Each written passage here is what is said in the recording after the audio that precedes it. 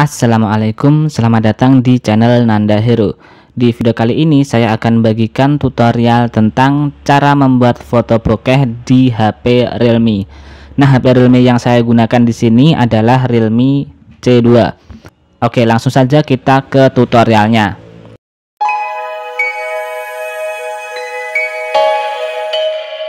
Nah, di situ bisa teman-teman lihat ada HP Realme C2, kemudian ada dua objek yaitu untuk badan parfum kemudian yang sini itu adalah untuk tutup parfum.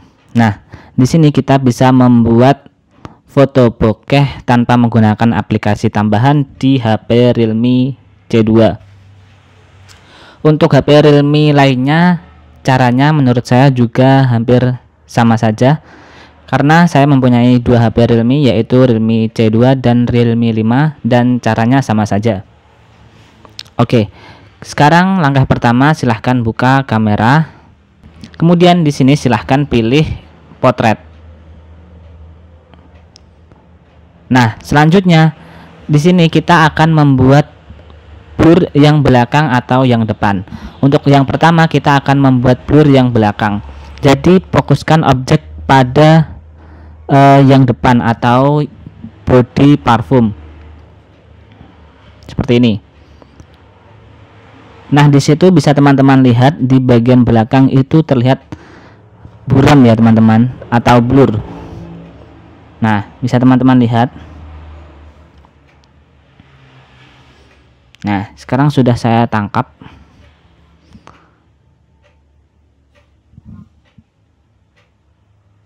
hasilnya seperti ini. Yang belakang blur. Selanjutnya di sini kita akan membuat yang blur itu yang depan. Objek yang belakang akan terlihat jelas. Caranya silahkan ketuk pada objek belakang ya. E, di sini ketuk pada objek tutup.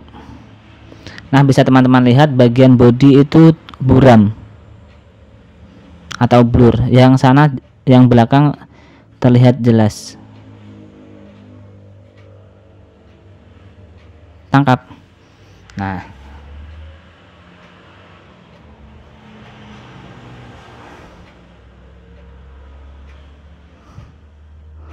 Nah hasilnya seperti ini.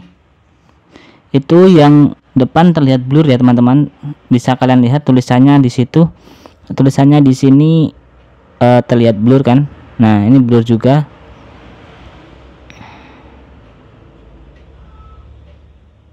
Nah kemudian di sini teman-teman juga bisa mengatur di mode pakar.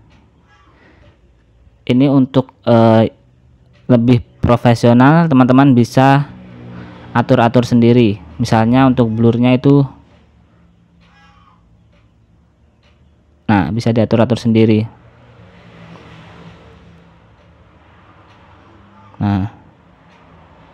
exposure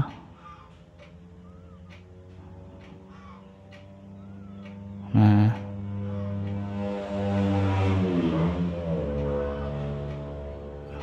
Oke. Jadi untuk paling mudahnya yaitu menggunakan mode potret.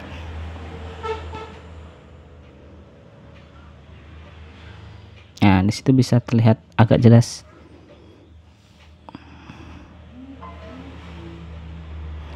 Oke jadi demikian itulah video kali ini tentang cara membuat foto bokeh di HP Realme. Semoga video ini berguna bagi teman-teman yang baru saja membeli HP Realme dan belum tahu caranya bagaimana membuat foto bokeh. Silahkan kalian sesuaikan dengan uh, pemandangan yang bagus di luar ruangan mungkin akan terlihat bagus. Baiklah sampai jumpa di video selanjutnya di channel Nanda Hero